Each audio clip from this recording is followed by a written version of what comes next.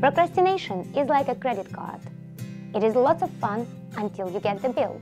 The root of procrastination is actually in long-term and short-term trade-off in our brain. It is easy to imagine what would you get at the end of your playing activity, or if you're watering your plant, or if you start to clean your house. However, it's much harder to imagine what would be your final outcome at the end of a long-term research activity, or how smart you get once you submit your dissertation.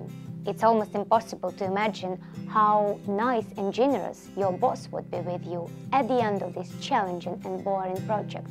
Immediate rewards tempt us and seduce our rational thinking. We want a tasty treat now.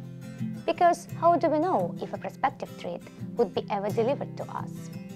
And also, no matter what we are doing, we are always looking for an element of fun in our activities. So what are the ways to beat procrastination? Pre-commitments work better than willpower.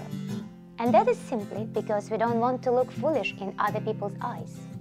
And also, we all need to be additionally supported. If you are working on a challenging and long-term project, the very first step you could take is to share what is it you are doing with the people around you.